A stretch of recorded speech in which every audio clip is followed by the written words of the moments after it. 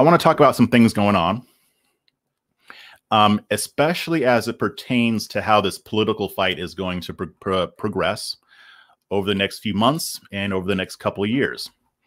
Um, and then I also want to talk a little bit about critical race theory. Um, this won't be a breakdown of, of the theory yet. I'm, I'm not quite ready for that, but I am uh, learning quite a bit. Very interesting stuff. Uh, there is some stuff that I agree with, and so far, most of it I I disagree with the approach. Um, but we'll, we'll talk about that in in in this live stream as well. First, I want to talk about the Capitol riots, and there's been kind of an, an interesting or strange development as far as the rioters go. So, as you know, a lot of them have, have, have been arrested. Um, a lot of them have been let off on bail. I know a lot of people on the right are making it sound like most of them are being held in solitary confinement. No, most of them have been let off with bail. Although I do think that there are there is at least one, uh, the the shaman guy who was held in solitary for a while. Now I didn't get the reasons behind that, but it doesn't sound like it makes sense to me. So I'm, I'm not going to pretend like there's no mistreatment going on here. Remember, I'm, I'm not a statist. So when the government does something wrong, I'm going to call it out. So I'll be looking more into that as well. Um, but the, what I want to talk about is that some of the people who were involved in these riots on January 6th, uh, their lawyers are putting up a very interesting and kind of predictable defense. And they're, what they're going to try to do is try to drum up some sympathy for the plight of these people who participated in the riots.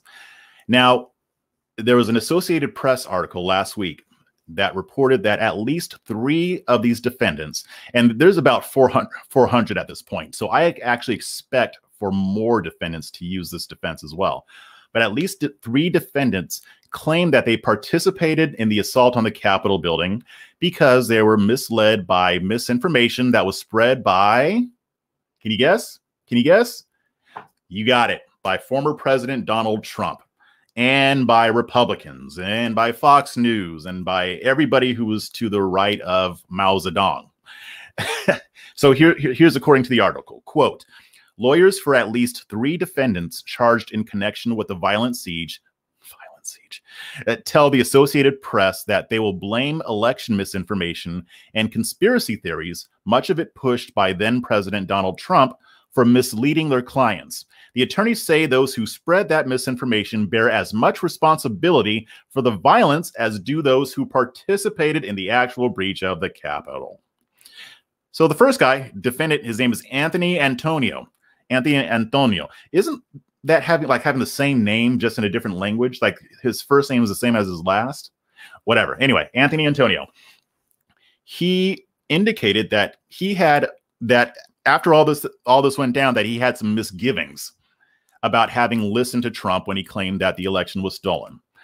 Quote, he says, quote, I kind of sound like an idiot now saying it, but my faith was in him, unquote. Well, he's right about that. but it continues. He, he also talks about how he wasn't really into politics. But the reason he got into politics, and this is interesting, and it kind of makes me wonder uh, what other types of ideas or or political affiliations have come out of this. But he became into politics. He got into politics when the pandemic happened and the shutdown orders happened, and essentially he got into it out of boredom. He began consuming right wing news. He was, began watching Fox News. He started getting into conservatives on social media, and I would imagine other conservative forms of media as well. Um, he said, quote, I think they did a great job of convincing people. Uh, and it wasn't just him, it was him and his roommates who were essentially getting, uh, uh according to them, getting influenced to believe in conspiracy theories by Fox News and other news outlets. Now, a U.S. district judge, her name was Amy Berman Jackson, and she had denied the release of one of these people who was involved in the riots.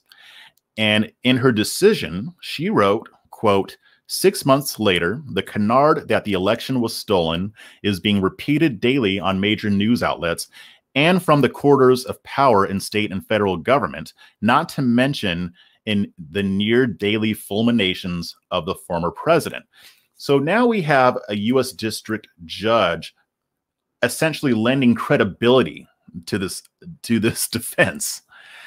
And she's taking, you know, she's taking the left wing line on this, right? She's obviously siding with the Democrats who really, really, really wanted the riots to be Trump's fault.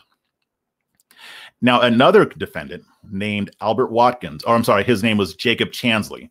The, the attorney representing him is named Albert Watkins.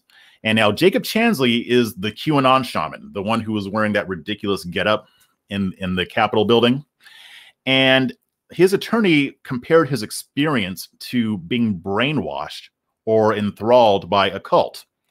So the lawyer, lawyer claims that, quote, falsehood and incendiary rhetoric eventually overwhelmed his client's ability to discern reality. And he continues, quote, he is not crazy. Quote, the people who fell in love with cult leader Jim Jones and went down to Guyana, they had husbands and wives and lives, and then they drank the Kool-Aid. so he's comparing this whole thing to Jim Jones. Now, I know a lot of the people on the left and, and the never Trumpers like to talk about how much of a cult MAGA is. I think that with most political movements, there there can be a cultish element to it. These people forget how many people were all on on Barack Obama. I mean, I, I saw a I saw a video of them turning a gospel song or one that's more meant to be for gospel and just putting it on Barack uh, putting Barack Obama in it and falling in love with him. So this element does exist. They forget that under Obama, there were plenty of people for whom Obama could do no wrong. Everything he said was great. He couldn't mess anything up. Just like you see a lot of people doing with Trump. This isn't a Republican thing. This is not a Democrat thing. This has happened all throughout history and not necessarily with dictators. I mean, I know we all like to com compare everybody to Hitler and everybody to Stalin, but there have been leaders who haven't been dictators, but were able to create a cult of personality. In fact, if you read 47, uh, the 47 laws of power, that is one of the laws create a cult like following. So, so the article goes on and it says, quote, however, those blaming their actions on Trump and conservative media might be disappointed. Uh, Christopher Slobogin, or Slobogan, however you pronounce his name, he's the director of Vanderbilt Law School's criminal justice program. And he told the Associated Press that he is very doubtful that this defense will work. He said, quote, it's not an argument I've seen win. He said that the basically the only hope that such a defense would have some merit would be if somehow believing in a conspiracy theory is used as evidence that the defendant is suffering from a mental illness that would preclude them from the law's presumption of competence. And he he said, I quote, I'm not blaming defense attorneys for bringing this up. You pull out all the stops and make all the arguments you can make, and that's what we're talking about here. I think that they know this defense has a very low chance of succeeding. But as we saw in the George Floyd trial or in other trials, defense lawyers have to bring out whatever they can that might convince a jury to go easy on, on, on their client he said i mean and th this expert said quote but just because you have a fixed false belief that the election wasn't stolen doesn't mean you can storm the capitol. Another defendant lawyers representing bruno joseph Cua. And now this is a 19 year old who uh, is accused of shoving a police officer outside of the senate chamber among other things i'm sure. Uh, the lawyers representing him argued that his extremist rhetoric before and after the riot were also the result of social media so his attorney claimed that his client was, quote, parroting what he heard and saw on social media, and that he did not come up with these ideas on his own. He was fed them. Now, the day after the riot, this guy uh, wrote a post on Parler uh, in which he wrote, quote, the tree of liberty often has to be watered from the blood of tyrants, and the tree is thirsty. Now, I saw a lot of posts like, oh, well, I shouldn't say a lot. I, I, I didn't see a lot of them, but I saw some. I saw some talking about, oh, how this was such a revolutionary event. Some were saying this is seven, 1776 all over again. And they bought into what was happening. Now, I think a lot of people were saying that when the riots were happening and they didn't understand how how bad they were. But even so, saying that after the fact, uh, you, you can kind of see that these people are into this kind of stuff. They're into the idea of using violence against the government.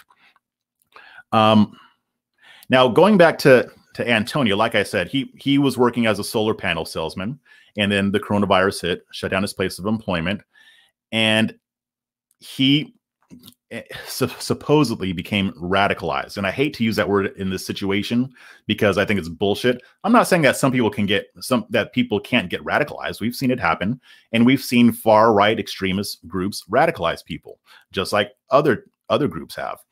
Um, now, according to the FBI reports, he threw a threw a water bottle at a Capitol police officer um, who was being dragged down the building steps. Um, he also destroyed furniture, and he was captured on camera yelling, "You want war? We got war." 1776 all over again. See, it, he was one of those people saying that. Um, he also had a patch for the far right anti-government militia group known as the Three Percenters, and he's being charged with five different counts. Um, now, for Antonio in particular, his lawyer told the Associated Press that he doesn't intend to use this election fraud belief as a defense, but more to explain why he participated in the riots. He said that that, that this misinformation is quote not a defense, but it will be brought up to say this is why he was here. The reason he was there is because he was a dumbass and believed what he heard on Fox News. See, now that statement is true for a lot of different reasons, but it may not be true. It's not true as to uh, explaining why he was writing. I mean, because a lot of people watch Fox News, right? And the vast majority of them would never do something like this. They would never participate in a riot. I don't care what the left wing media tells you.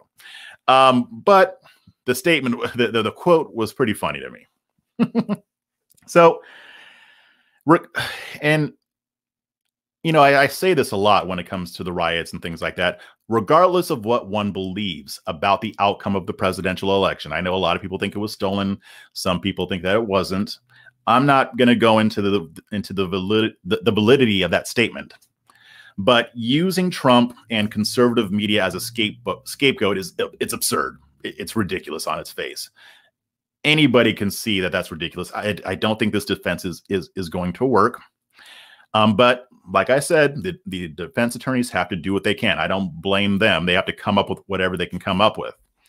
But what is more interesting about this, and what I'm thinking is probably going to happen, especially if more defendants try to use this defense. And I think that there will be, because I was hearing about this even earlier on when people started getting arrested. I think that there will be more than these these three young men who blame this on Trump and conservative media and use that as their, their defense. But what I'm predicting it, or what I'm, yeah, I'm going to predict it. I think that the media is going to seize on this. I don't think they're going to seize on it right now because it's only three people who are making this claim. But if more start using that in their defense, they're going to be using these court proceedings, which I don't know when they're going to happen. I don't know when all these people are going to go on trial or whatever. Um, I'm sure some some will end up being let let go. In some cases, the charges might be dropped. We've seen that in other riots. Um, but how are they, they going to use the defense that these young men put forth to further to further their narrative about the riots? I think that they're going to be paying very close attention to the court proceedings. They're going to be paying very close attention to what the defense attorneys say. Um, CNN is going to be having experts on claiming that Trump can Trump's words radicalized people and that Fox News radicalized people. I'm calling it right now.